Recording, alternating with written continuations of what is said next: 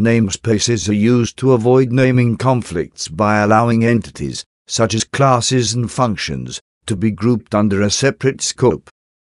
In the example shown here, there are two classes that belong to the global scope. Since both classes share the same name and scope, the code will not compile. One way to solve this problem would be to rename one of the conflicting classes.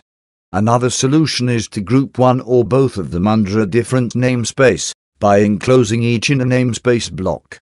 The classes then belong to different scopes, and so will no longer cause a naming conflict. To access a member of a namespace from the outside, the member's fully qualified name needs to be specified. This means that the member name has to be prefixed with the namespace it belongs to, followed by the scope resolution operator. It is possible to nest namespaces any number of levels deep to further structure the program entities. Just ensure that the nested namespace members are qualified with the full namespace hierarchy when using them from another namespace. To avoid having to specify the namespace every time one of its members is used, the namespace can be imported with the help of a using declaration. This declaration includes the using namespace keywords, followed by the namespace to be imported. It can be placed either locally or globally. Locally, the declaration will only be in scope until the end of the code block, while at the global scope it will apply to the whole source file following its declaration. Keep in mind that importing a namespace into the global scope defeats the main purpose of using namespaces, which is to avoid naming conflicts. Such conflicts, however, are mainly an issue in projects that use several independently developed code libraries. If you want to avoid both typing the fully qualified name and importing the whole namespace, there is a third alternative available. This is to only import the specific members that are needed from the namespace.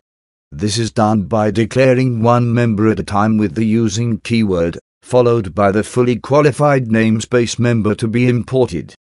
Another way to shorten the fully qualified name is to create a namespace alias. The namespace keyword is then used followed by an alias name, to which the fully qualified namespace is assigned.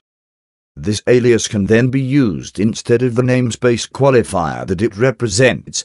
Note that both the namespace member imports and the namespace aliases may be declared both globally and locally. Aliases can also be created for types. A type alias is defined using the typedef keyword, followed by the type and the alias. The alias can then be used as a synonym for the specified type.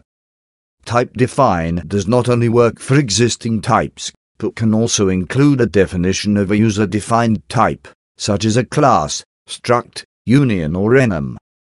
Typedef aliases are not commonly used since they tend to obfuscate the code. However, if used properly a type alias can simplify a long or confusing type name.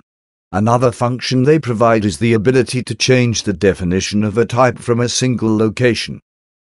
Keep in mind that in C++, merely importing a namespace does not provide access to the members included in that namespace.